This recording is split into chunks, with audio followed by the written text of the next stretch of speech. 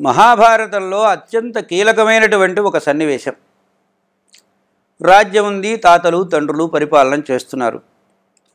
అందులో సహజంగా పెద్దవాడికే రాజ్యం వస్తుంది. రెండవ వాడు ఆ రాజుగారి తమ్ముడుగా చలామణి అవుతాడు తప్ప రాజుగారు అయ్యే అవకాశం ఉండదు.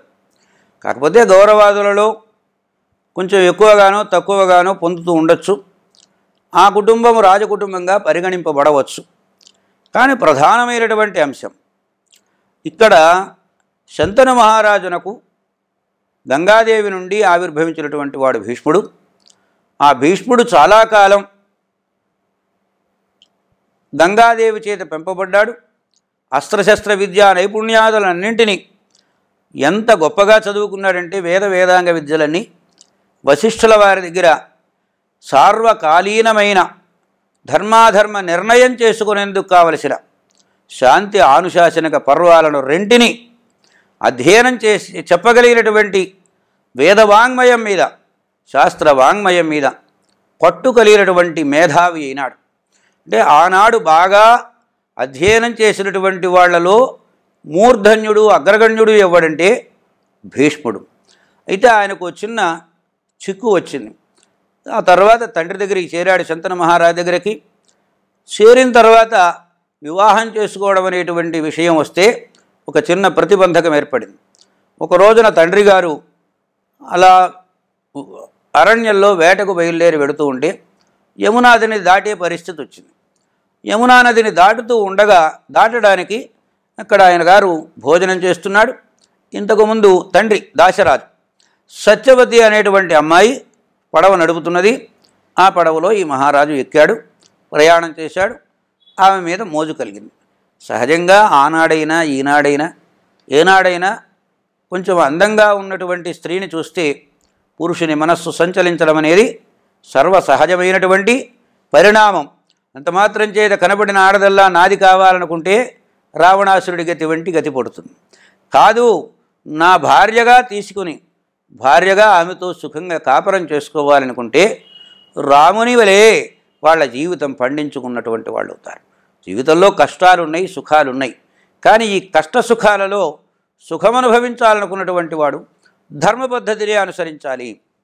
ఇక్కడ ప్రధానమైనటువంటి అంశం ఏమిటంటే సత్యవతిని చేసి మోజుపడ్డాడు. మోజుపడి ఆమెను అడిగాడు. అడిగితే మా నాన్నగారిని అడగమంది. అడిగింది. అడిగితే అప్పటికే గంగాదేవి వల్ల భీష్ముడు పుట్టి ఉన్నాడు తండ్రి దగ్గరకు చేరి ఉన్నాడు. ఒక భార్య పెద్ద భార్య ఉన్నప్పుడు పెద్ద భార్య కుమారుడు ఉన్నప్పుడు నా కుమార్తెను నీకు ఇస్తే వచ్చే లాభమే ఉందయ్యా. నా మనవాళ్ళు ఏమైపోతారు? రాజకుటుంబంలో సేవకులుగా బ్రతకాల్సిందే కదా. భీష్ముడు రాజ్యాధికారి కాకుండగా నా కొడుకులు మాత్రమే నా మనవాళ్ళు మాత్రమే రాజ్యాధికారులు కావాలి. అలా అంగీకరించమన్నాడు. సరే ఈ మాట సాధ్యమయ్యే పని కాదు. పెద్ద కొడుక్కే రాజ్యం వస్తుంది కాబట్టి ఆ పెద్ద కొడుకు వల్లనే ఈ వంశం అనేటువంటిది వృద్ధి చెందుతుందనే ఆలోచనలో ఆయన దిగులు పడి మంచం పట్టాడు. ఇది గమనించాడు భీష్ముడు. గమనించి తండ్రి గారి మనస్సులో ఉన్న అభిప్రాయాన్ని మంత్రుల ద్వారా తెలుసుకొని తాను ఆ పిల్ల తండ్రి అయినటువంటి దాశరాజు దగ్గరికి వెళ్ళి దా తండ్రికి నీ కుమార్తెనిచ్చి వివాహం చేయవలసింది. సామాన్యంగా లోకంలో తల్లిదండ్రులు తమ పిల్లల వివాహాల గురించి ఆలోచన చేస్తారు. తండ్రి వివాహాన్ని గురించి ఆలోచించిన చరిత్రలోని మహాపురుషుడు ఎవడంటే భీష్ముడు. అని ఎంత పని చేశాడంటే ఇదే జంతన మహారాజుతో ఏ మాటలు అన్నాడో అవే మాటలు భీష్ముడితో చెప్పారు. అంటే ఇప్పుడు ఆయన ఓ ప్రతిజ్ఞ చేశాడు. అప్పటి వరకు ఆయన దేవవ్రతుడు అనే పేరుతో వ్యవహరింపబడినటువంటి వాడు. అత్యంత భీషణమైన మహాప్రతిజ్ఞ చేశాడు. అద్య ప్రభృతి బ్రహ్మచర్యం చరిష్యే. ఈ క్షణం నుంచి నేను బ్రహ్మచర్యాన్ని పాటిస్తాను అన్నాడు.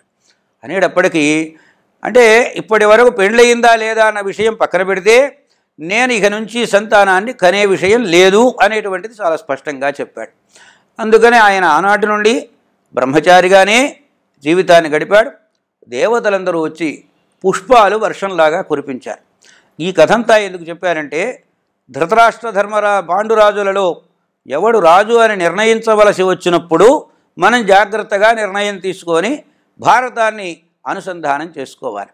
ఇక్కడ భీష్ముడి ప్రతిజ్ఞ చేశాడు బ్రహ్మచారిగా ఉండిపోయినాడు సంతానాన్ని కనే పరిస్థితి లేదు. సరే సత్య సత్యవతి అనేటువంటి అమ్మాయితో శాంతన మహారాజునకు వివాహమైంది ఆయనకు ఆమెకు ఇద్దరు కొడుకులు కలిగారు ఆ ఇద్దరి కొడుకుల్లో పెద్దవాడు చిత్రాంగదుడనే పేరు కలిగినటువంటి వాడు గంధర్వునితో యుద్ధం చేసి ఆ యుద్ధంలో తన శరీరాన్ని చాలించవలసిన పరిస్థితి ఏర్పడింది.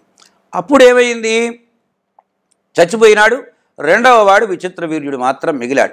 ఈ విచిత్ర వీర్యుడు అంబిక అంబాలిక అని స్వయంవరంలో ఉన్నటువంటి వాళ్ళను అంబా అంబిక అంబాలిక ముగ్గురు రాజకుమార్తెలు వాళ్ళను చెరబట్టి తీసుకుని వచ్చాడు భీష్ముడు. వచ్చిన తర్వాత ఒక రహస్యం చెప్పింది ఆమె. నేను ఇంతకుముందే సాల్వ మహారాజును వివాహం చేసుకుంటానన్నాను. ఆ వివాహం చేసుకునే పరిస్థితి లేకుండగా చేశావు నీవు అని కళ్ళ పెట్టుకుని ఏడ్చింది. అప్పుడు ఆయన నిజాయితీపరుడు కాబట్టి సాల్వ మహారాజు దగ్గరికి సమర్యాదగా ఈమెను పంపాడు. పంపితే తాను పది మందిలో అవమానం పొందాను. అంటే వాళ్ళు ఆల్రెడీ అక్కడికి ఓ నిర్ణయానికి వచ్చారు. నువ్వు స్వయంవరానికి రా స్వయంవరంలో నేను మెళ్ళో మాల వేస్తాను. నువ్వు నూనె మూడు పెళ్ళాలు అవ్వచ్చును ఈ ఒడంబడిక భగ్నమైంది. దానితో దీనికి కారణమైన వాడు భీష్ముడు కావడం చేత ఆ భీష్ముడి మీద కసి పెంచుకున్నది అంబ. శాల్వరాజు కాదన్నాడు. అయిన తర్వాత విచిత్ర వీర్యుడు అంబిక అంబాలిక ఇద్దరిని వివాహం చేసుకున్నాడు. ఈ ఇద్దరితో పాటు నిరంతరం సంయోగం చెందుతూ క్షయవ్యాధి పీడితుడై అతడు కూడా మరణాన్ని పొందాడు. అంటే శంతన మహారాజు శంతన మహారాజు కలిగినటువంటి వాడు భీష్ముడు రాజ్యాన్ని స్వీకరించడు పెద్ద కుమారుడు తర్వాత కలిగిన ఇద్దరు కూడా మరణాన్ని పొందాడు. అంటే ఆ వంశం అక్కడికి విచ్ఛిత్తి అయిపోయే పరిస్థితి ఏర్పడింది. విచ్ఛిత్తి అయిపోతుంది కాకూడదు. ఎందుకు కాకూడదన్నారు? ప్రజాతంతుం మా వ్యవత్సేత్సి ధర్మశాస్త్రాలన్నింటినీ అతి జాగ్రత్తగా సమన్వయం చేసి చూపించినటువంటి సన్నివేశాలివి. తన వలన సంతాన హైన్యత కలగకూడదు. సంతానం కలిగితేనే తాను ఉత్తముడవుతాడు అని చెప్పినటువంటి మహత్తరమైన సన్నివేశం ఇది సత్యవతి విధవరాలు భర్త పోయినాడు. బిడ్డలిద్దరూ పోయినారు. ఇటు సంతానం లేదు అటు భర్త లేదు అటువంటి స్థితిలో వంశము విచ్ఛిత్తైపోయేటువంటి పరిస్థితి ఏర్పడితే ధర్మములలో మోక్షధర్మములు ఆపద్ధర్మములు రాజధర్మములు ఏ విభాగానికి ఆ విభాగం ఉన్నాయి? ఆపద్ధర్మంలో వంశము విచ్ఛిత్తిపోయే అయిపోయేటప్పుడు కొన్ని జాగ్రత్తలు ఎలా తీసుకోవాలి? వంశ విచ్ఛిత్తి కలక్కండగా ఎలా కాపాడాలి? అనేటువంటి దానిని ఆధారపడి వెంటనే సత్యవతి భీష్ముడిని పిలిచి నాయనా ఇప్పుడున్నటువంటి ధర్మనిరతి విషయంలో దేవరన్యాయంతో అంటే ఒక తండ్రికి పుట్టినటువంటి అన్నదమ్ములలో ఏ ఒక్కరి వల్లనైనా రెండవ వారికి సంతానం కలగచ్చు. కారణాంతరాల వలన అనేటువంటి ఆనాటి ధర్మ నియమాన్ని దృష్టిలో పెట్టుకొని ధర్మ నువ్వు సంతానాన్ని పొందవలసింది. అంటే తన ప్రతిజ్ఞ భంగం అవుతుంది కదూ భీష్ముడికి. తాతగారి దగ్గర అదైతే సత్యవతి తండ్రి దగ్గర నేను ఈనాటి నుండి బ్రహ్మచర్యాన్ని పాటిస్తాను అన్నాడు. కనుక ఆయన ఇబ్బంది పడకుండా ఉండడం కోసం ఒక ఉపాయం చెప్పాడు. యోగ్యుడైనటువంటి బ్రాహ్మణోత్తముల వలన ఉచితమైనటువంటి సంతానాన్ని గనక పొందినట్లయితే ఆ సంతానం వల్ల వంశవృద్ధి అనేది జరుగుతుంది వంశ విచ్ఛిత్తి జరగకుండా ఉంటుంది అని నిర్ణయం చేసుకొని అప్పుడు ఆయన అభిప్రాయం చెప్పిన తర్వాత సత్యవతి తనకు సంబంధించినటువంటి పూర్వ వృత్తాంతం వేదవ్యాసుడు తన కుమారుడేనన్నటువంటి పరమరహస్యాన్ని చెప్పి వేదవ్యాసుడిని తలుచుకుంటే వస్తారని వాగ్దానం చేసిన ఆ కుమారుణ్ణి తలుచుకున్నది. అప్పుడు వేదవ్యాసుల వారు వచ్చారు. నిజానికి ఇది వేదవ్యాసుల వారికి కొంచెం ఇబ్బందికరమైన పరిస్థితే ఒకవైపు తల్లి మాట రెండవది అసలు స్వస్త్రీ కానటువంటి దానిను సంగమించి సంతానాన్ని పొందడం అనేటువంటి ఒక తీవ్రమైన ఇబ్బందికరమైన సంఘటన ఇది. వెంటనే తల్లి మాటను కాదనలేక తల్లి మాట కాదనలేక జీవితాలను పండించుకున్నటువంటి మహాభాగులు ఆదర్శంగా నిలిచినటువంటి వారు ఎందరో ఉన్నారు. అందులో శంకర భగవత్పాదుల వారు కూడా ఒకరు.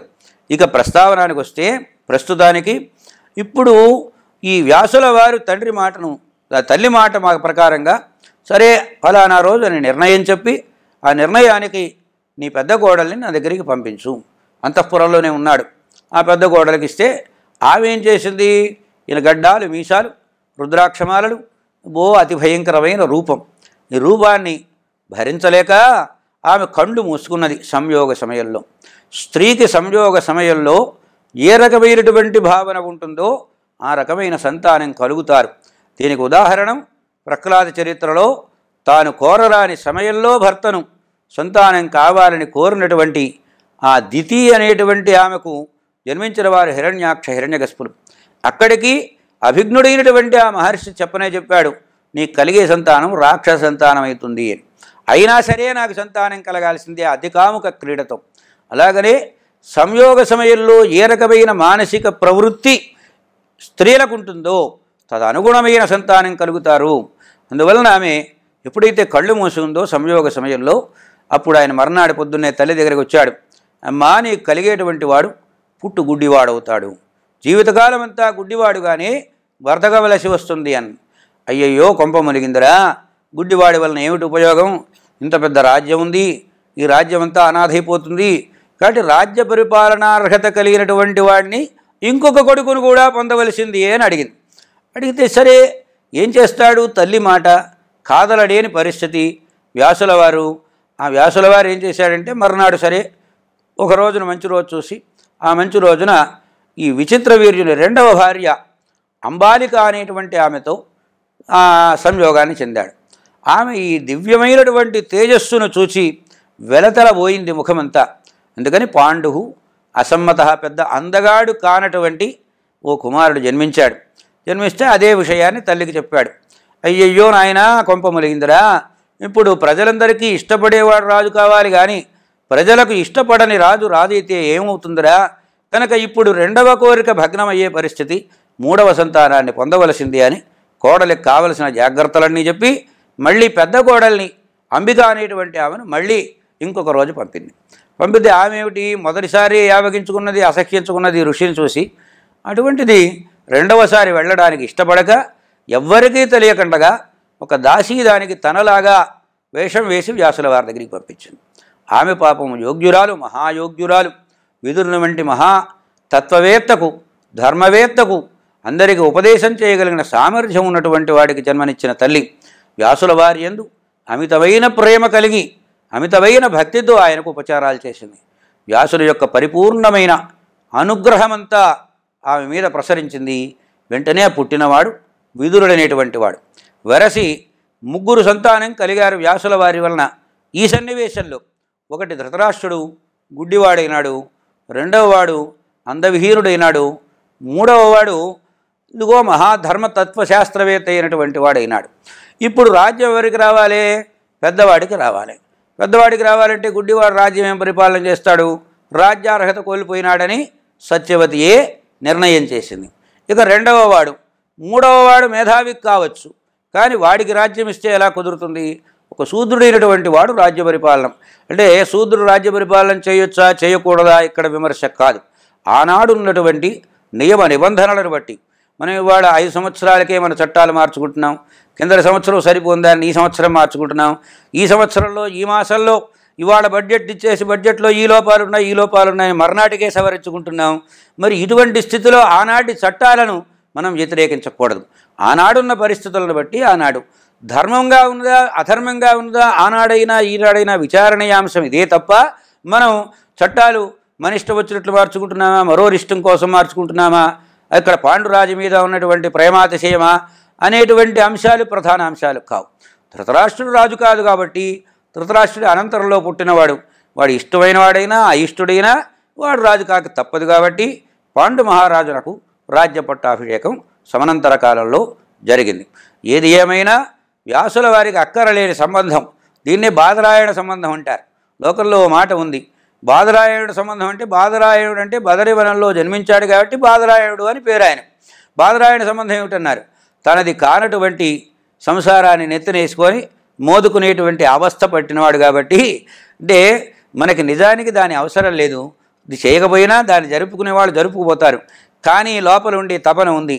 నా కొడుకు నా మనవడు మనవాళ్ళ కొడుకులు వాళ్ళు మంచివాళ్ళు వీళ్ళు చెడ్డవాళ్ళు మంచి వాళ్ళకు మంచి బాధ చేశాడు. చెడ్డవాళ్ళకు నాయనా ఇది మంచిది కాదురా అని చెప్పి ఇన్ని ఎందుకు అవసరం అంటే వాళ్ళు నా వాళ్ళు అనేటువంటి మమతా భావం మనస్సులో ఉండడం. దీనికే బాధరాయణ సంబంధం అని పేరు. ఇది పెంచుకున్న కొద్దీ పెరుగుతూనే ఉంటుంది కానీ తరిగేది కాదు. అందుకనే వేదవ్యాసుల వంటి మహాజ్ఞానికి ఎంత జ్ఞాని అంటే అష్టాదశ పురాణములు బ్రహ్మసూత్రములు మహాభారత గ్రంథాన్ని లోకానికి అందించినటువంటి మహాపుణ్యభాగుడైనటువంటి వేదవ్యాసుల వారికే తప్పలేదు ఈ మమతాబంధం ఇంకా సామాన్యులకు తప్పుతుందా? సముడై ఎవ్వడు ముక్త కర్మ చయుడై సన్యాసియై ఉంటి ఓవా